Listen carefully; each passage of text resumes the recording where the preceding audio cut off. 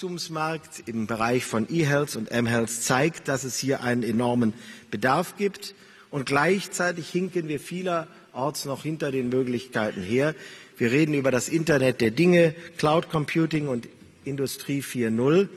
Aber im Gesundheitswesen sind wir zu häufig noch im analogen Zeitalter oder wie die FAZ neulich titelte, Gesundheit 1.0. Dabei haben wir kein Anwendungsproblem. Fast alle Praxen und Krankenhäuser nutzen bei den rund 1,5 Milliarden Euro, äh, Behandlungen pro Jahr digitale Daten auf hohem Niveau. Aber wenn dann 5 Milliarden Behandlungsdokumente ausgetauscht werden müssen, dann geht es meist noch per Fax oder per Post. Wir haben also durchaus ein erhebliches Vernetzungsproblem.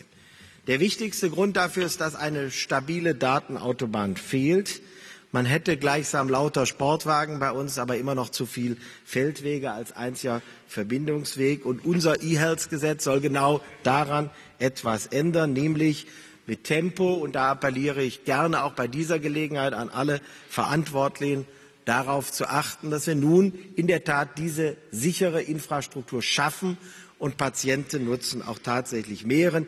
Die Einführung der elektronischen Gesundheitskarte, die Zahlen wurden noch einmal in Erinnerung gerufen, ist da wahrlich kein Ruhmesblatt. Viel zu lange ist gestritten worden, auch aufgrund von Partikularinteressen. Und deswegen gibt es einen guten Grundsatz im E-Health-Gesetz in Zukunft, nämlich wer blockiert, zahlt.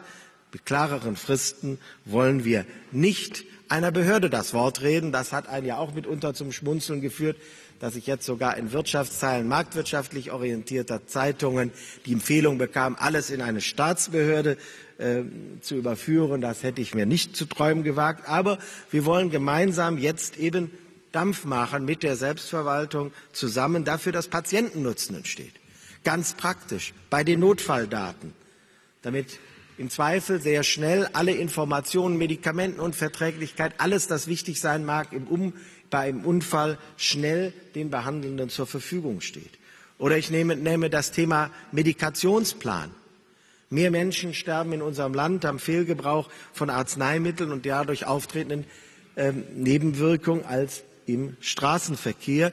Die Möglichkeit, alsbald in einem Medikationsplan, hoffentlich dann in ebenfalls nicht zu ferner Zeit, diesen auch verankert auf der elektronischen Gesundheitskarte, können wir hier einen Baustein neben weiteren zu einer stärkeren Arzneimitteltherapie Sicherheit leisten im Interesse gerade der Patientinnen und Patienten in einer älter werdenden Gesellschaft mit Mehrfacherkrankungen, mit umfangreicher Medikation, vielfältigen Medikamenten, aber keineswegs immer noch mit Kindern oder Schwiegerkindern in der Nähe, die gleichsam darauf achten, dass die richtigen Tabletten in der richtigen Häufigkeit eingenommen werden. Erwartungen in dem Zusammenhang an die Selbstverwaltung, ich sage deutlich, aber auch an die Industrie. Ich erwarte, dass die, Sie die Chance, hier etwas Vorbildliches zu entwickeln, registriert und entschlossen und zuverlässiger anpackt. Mit Sorge habe ich deshalb registriert, dass seit Vergabe der Realisierungstests der Starttermin bereits um mehr als ein Jahr verschoben wurde. Ich erwarte daher, dass der jetzt für November dieses Jahres geplante Start der Echttest mit allen geplanten Produkten gehalten wird, so wie es zugesagt wurde. Das ist eine große, ja eine komplexe Aufgabe, eine sichere Kommunikationsinfrastruktur aufzubauen für fast 200.000 Ärzte, 20.000 Apotheken, 2.000 Krankenhäuser und nicht zuletzt 70 Millionen gesetzlich Versicherte in unserem Land.